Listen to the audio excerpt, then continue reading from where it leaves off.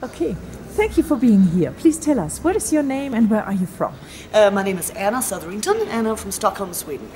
Okay. Anna, now as we are nearly at the end of the Hatun Karpay, can you tell us a little bit about it? Well, how was it for you? What is it about? Wow. Um, it's about many things at once for me. Uh, one of the things, obviously, is to visit these absolutely extraordinary places with, with all the beauty of the landscape. I mean, uh, around Machu Picchu, for example, it's literally, it's the most beautiful landscape I've ever seen in my life. It just made me want to fall down to my knees and start to cry the first time I saw it. But not from sadness, from awe, you know? Uh, and the beautiful architecture and the, the everything. Uh, but it's the combination there, I think, of seeing the beauty, learning about the history, and at the same time meeting it on the energy level. And that makes it much, much deeper than if you go on just a regular tourist uh, uh, package deal, you know, because then they do tell you about the history, but it's all intellectual. And here, it's intellectual, it's physical, it's emotional, it's energetical, all at the same time. And that gives so much more.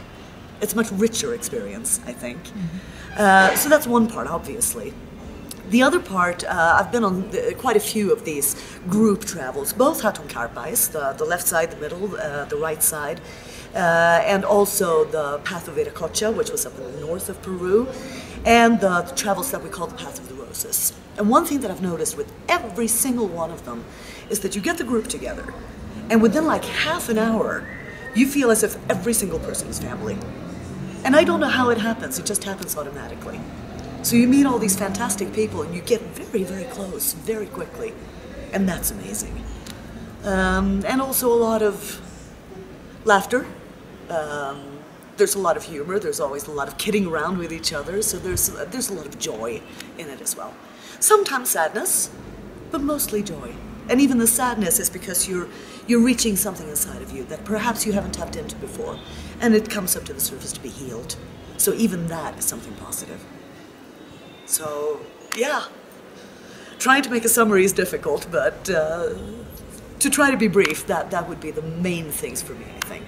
Okay, that yeah. sounds fantastic. Thank you very much, Anna. Thank you.